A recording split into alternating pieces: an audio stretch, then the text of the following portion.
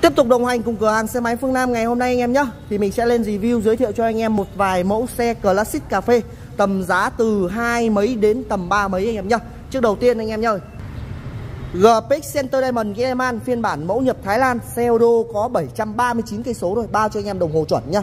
Đăng ký về biển số Bình Thuận rồi.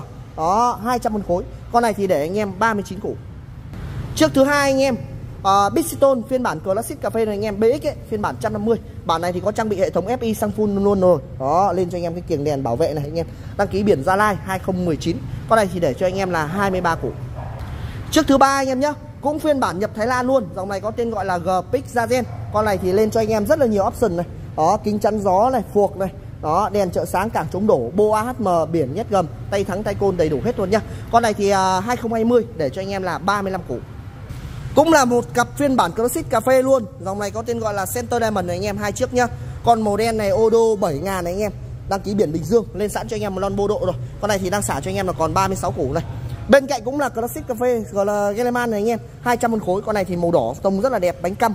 Đó, thắng đĩa anh em nhá, bản ba thắng đĩa. Cũng lên cho anh em thì option cực kỳ luôn nhá. Tay thắng, tay côn cùng ga, đó cùng dầu, đó, trợ lực tay côn có đầy đủ hết. Đăng ký về biển số, thành phố, xe đang ủy quyền để anh em 33 củ đó, cửa hàng còn rất là nhiều xe anh em nhá. Đủ các loại dòng mẫu dòng mẫu gì cũng có hết. Anh em cần xe gì cứ liên hệ cho cửa hàng mình. Có hỗ trợ trả góp và có hỗ trợ lợ xấu. Ship xe xa 63 tỉnh, thành phố anh em nhá. Rồi, cảm ơn anh em đã coi hết video.